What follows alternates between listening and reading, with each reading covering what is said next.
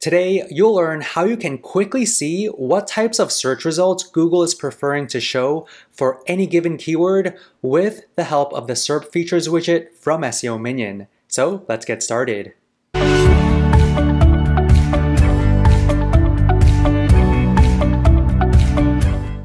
Okay, first off, why do we want to know what Google is preferring to show for any given keyword?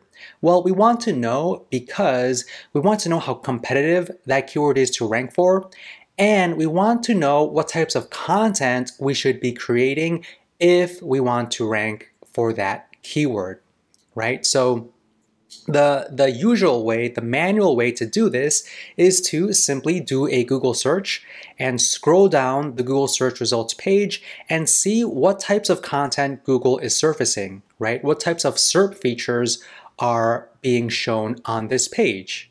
Okay, so you can manually take mental note and write down that, you know, there are some videos here, there is an FAQ section here, uh, there's X amount of blue links, right? You could write this down on a piece of paper or add it on a Google on a Excel spreadsheet. Uh, but there is a quicker and easier way to do this. So that's where SEO Minion comes along. So they have the SERP features widget that is displayed right here. And whenever you do a Google search, it will automatically show you uh, what types of SERP features are on this page. So you don't necessarily need to manually scroll down and take mental notes of everything. Okay, so within seconds, we could see that there are seven organic results, and organic results are the standard blue links, there are three video listings, one, two, and three, and there are FAQ data, as you can see that right here. Okay, so let's do another Google search. Let's search for best men's ties. So let's see. So we could manually scroll down and take mental notes of everything, right? Or we could just, uh, within a couple of seconds, take a look at this table. So there are 10 organic results. There are 32 product listings, and it counts them right here, okay? And there are three local listings, okay? So as I scroll down, you could see the three pack right here, okay? Now let's do another search. Amazon Prime shoes. So this one is pretty different, right? And you could see the landscape, the real estate is different as well. So there are nine blue links, there's one fresh listings. So a fresh listing is a blue link that was recently uh, published. All right, so we could see that there is one two days ago. Okay, so that's a fresh listing. And then there are four news listings. So one, two, three, and four.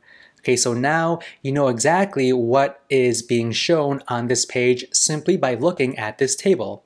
All right, now what we could also do with this widget is, say for example, um, we want to save this table. You could actually save this table uh, by clicking on this button right here, download this data, and SEO Minion will download this exact table as a CSV, so you could refer to it at a later date.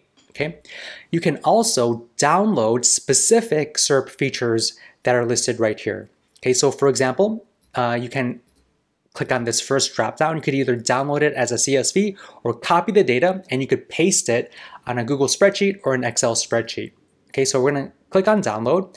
And remember how there were uh, three videos right here? We could manually click and open up these videos and copy and paste the URLs. But let's do the more quicker route. So we just click on this second dropdown and you could select anything right here according to what you see on this table. Okay, so there's three video listings, right? So we could go through here, find all video listing URLs, select that and click on go and save the CSV. And we're gonna open up the CSV. Okay, so here is that CSV with the three URLs to the videos right here. So very, very simple, very, very easy. Okay, so this is how you can use the SERP features widget to quickly and easily uh, see what types of SERP features are on the Google SERP results pages. All right, so hopefully you thought this video was helpful and we will see you in the next one. Alright, hopefully you got some value out of this video. Please let us know by hitting that like button and subscribing to this channel. Thank you, and we will see you in the next one.